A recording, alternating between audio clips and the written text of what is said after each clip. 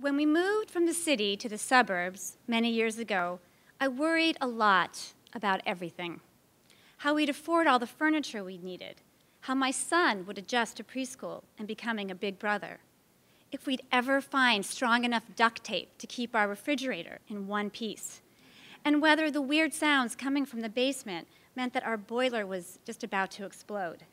And then, a few years later, we discovered our underground oil tank was leaking. Definitely something new to worry about. It'll have to come out, the serviceman told me. Okay, I agreed, not eager to cause an environmental disaster. But you'll uh, have to remove that tree first. That tree, I said, pointing to the only tree outside in our front yard. yep, that one, the tank's directly under it. No, I said, instantly resistant. Not that tree. That's my children's favorite tree. That tree goes with the house. The tree was part of the house, part of our family. It was a thick trunked, glowy red maple that was perfect for climbing. My two year old monkey daughter had already figured out how to pull herself up and swing from it, while my more cautious son trusted it and moved along its branches like a steely mountain climber. The tree was their playground, their castle, their friend. It provided each of them what they needed. You know the dreams people have of their kids' carefree childhoods? Well, this tree was in every one of mine. As I showed the serviceman to the door, the only thought in my head was, we can't lose this tree. My husband was sad too, but made an appointment right away for the tank to be removed, and over the next few days attempted to soothe me in the same conversation. We can plant a tree in that exact spot, any kind of tree you want. I ended each of those conversations the same way. I don't want another tree. I needed a second opinion and sought the advice of a tree company. And as it turns out, I also needed a third, a fourth, and even a fifth opinion. One after the other, they told me the same thing the tree would never survive. Such a shame. What a beauty, they all concurred, as if somehow that would lessen the blow. It wasn't that I didn't trust their judgment. All the reasons they gave were good ones, grounded in physics and science, but not even the best one could contend with the voice inside my head that was screaming, Don't chop it down. But I was alone. My family and friends felt I'd gone too far and urged me to let go.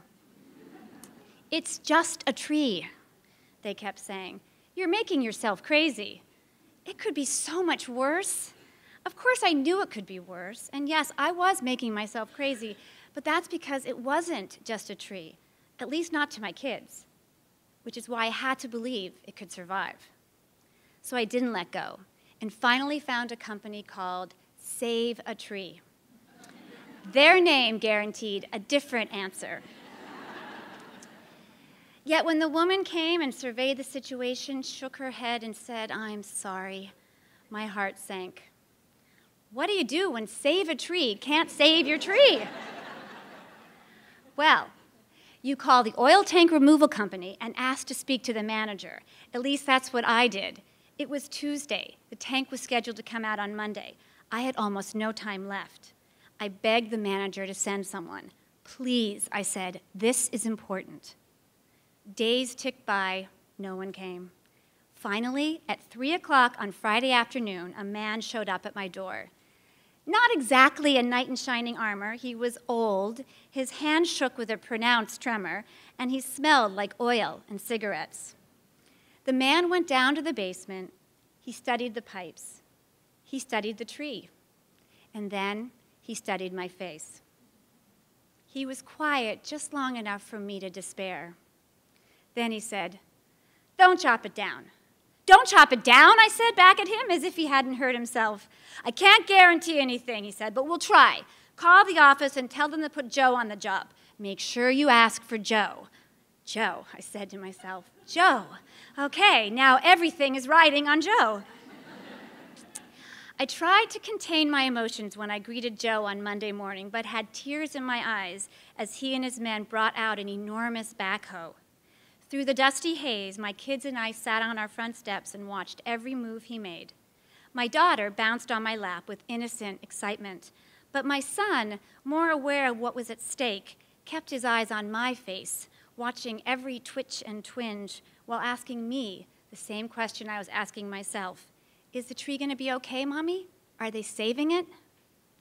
They worked for hours, digging a huge, grave sized hole next to the tree. Occasionally, Joe looked my way. I tried to smile and appear calm. It's not how I felt. My daughter's nap came and went. Then the machine stopped. Joe stopped.